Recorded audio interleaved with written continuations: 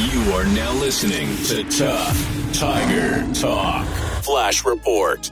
You're now rocking with Tough Tiger Talk on the PRO Media Network. I'm Big Q chiming on with this installment of Tough Tiger Talk. As the 2023 recruit class keeps pouring them on, keeps pouring them on, and it keeps elevating as LSU. Brian Kelly doing the damn thing. Uh, two defensive ends agreed to join uh, the 2023 LSU staff, man, in terms of the football program.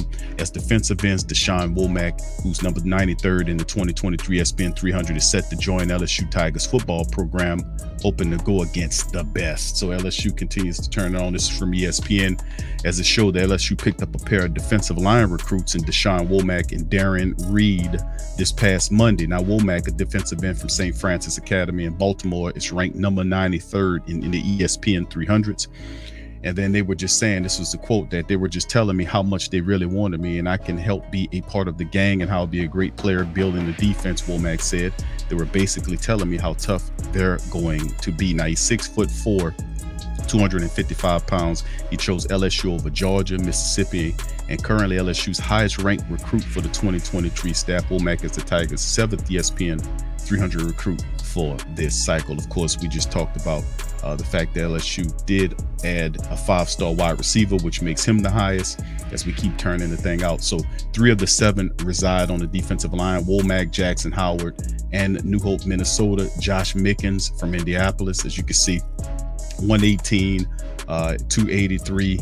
And Howard committed to the Tigers on Friday, while Mickens followed suit on Sunday. Jamar Cain spurned Lincoln Riley at USC to join Brian Kelly's staff as the defensive line coach, and his impact is quickly showed on the recruiting front. He big shout out Jamar Cain is doing the damn thing. He's recruiting the hell out of these guys, man, and doing a great job.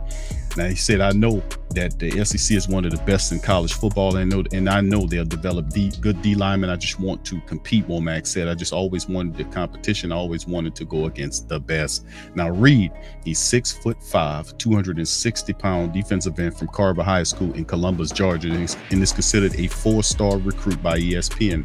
Now Reed opted for the Tigers over Ohio State in Miami. And his quote was, I just wanted to play wherever I fit. He said, as long as I can do what I need to do, I can make it in the NFL wherever I go. So big ups to both these young players, both Reed and Womack, as they join a very tough uh, LSU recruiting class of 2023. You think that's it? Proverbial chips for LSU's continue to fall as Jeremiah Hughes commits to LSU. He calls it his dream school. Now, this is coming by way of uh, uh, on3.com as LSU came with an offer late in February. In April, Brian Kelly and the staff got Jeremiah Hughes on campus for the first time. And after the official visit to Baton Rouge in June, the versatile athlete out of Las Vegas, Bishop Gorman, knew he wanted to play for the Tigers. He says, It was a very tough decision from Arkansas, but LSU is a great school. I felt wanted and I chose them, Hughes told on3. Now, growing up in Arkansas, Hughes had his eye on the Razorback, but he still has family there. And as a kid, watching the home state school play helped put LSU on his radar. So his big uh, commentary was that he was that the new staff at LSU really impressed him. He said Brian Kelly leads the way as the coach, and he's someone Hughes and his family is really fond of. Let's start with Robert Steeples, though, the defensive back coach that recruited the three-star out of the top high school program in the country. He said, as soon as I met Coach Steeples, I knew he was down earth guy that I that wants the best for me. He said, I like him, his style, and his ability to coach a lot. So credit to Coach uh, Kelly for bringing along guys like uh, Coach Cain, and then of course bringing guys like Coach Steeples. These guys know how to coach, and he has a very serious staff. And LSU is doing the damn thing. And of course, it don't hurt when you see guys like Tyrann Mathieu and LaRon Landry and some of those guys come out of programs like that. So once again, big shout out to uh, Jeremiah Hughes, another commitment for the 2023 class for LSU as we continue to build this thing. And listen, that 2023 recruiting class is skyrocketing. And then finally, for this installment of Tough Tiger Talk, another 2023 recruit.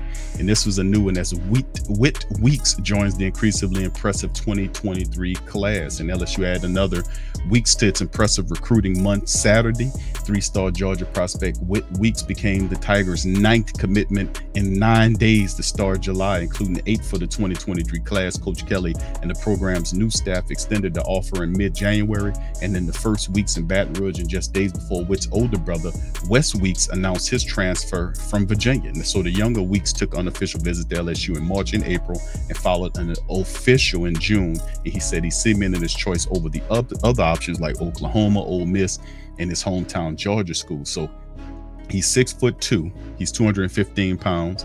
Uh, he's an athlete, spoke highly throughout his recruiting process of the growing relationships with Coach Kelly, defensive coordinator Matt House, and the staff, the program tradition and vision, the university's campus, and of course, the food. He loves the food down there. Who wouldn't, man? You hear me? He said, but we told the Tigers detail in April that a, that rapper with other members of the 23 class would be another important factor for his eventual decision. He said the opportunity to connect at the spring game and then recent LSU commitments such as defensive back Michael Dougherty from Georgia and Ryan Yates from Texas and other targets have given him a good feel for the Tigers' potential class. So a lot of great stuff going on. And of course, as we do a recap, the first commitment of the month came July the 1st is Jaxon Howard, the highly ranked two-way Minnesota athlete expected to play defensive end in Baton Rouge. And then defensive ends Josh Mickens from Indianapolis and Darron Reed from Georgia. Da'Shawn Womack from Baltimore were the other four additions during the 4th of July weekend. And then in order to be a good linebacker, you have to have good players in front of you, Week said, as our class from the D-line is crazy and tons of studs. So the Tigers have also had defensive backs Ashton Stamps from Rummel, Jeremiah Hughes from Vegas, and Monday and Thursday, respectively, a secondary haul that previously included Dougherty, Yates, and Austin from Long Beach, California. So Jonesboro Judge uh, uh, Hodge linebacker Xavier Atkins announced his commitment Tuesday for the 2024 class, and an elite Miami, Florida receiver Jalen Brown joined the 2023 cohort uh, this past Friday. So quick breakdown as uh, Will Weeks' brother Whit Weeks joins the Tigers' impressive haul of players as we got this thing crunked. So with that being said, we're gonna jump out on that. Appreciate all you guys for uh, supporting Tough Tiger Talk. Please feel free to hit the like button, hit the subscribe button, continue to share the show on your social media feed. I'm Big Q, great class and great 2023 class. 2022 is looking good. The future is bright for LSU football. I'm gonna check out on that. Much love to you guys and go Tigers. Subscribe to the Tough Tiger Talk channel and stay up to date for all things LSU football.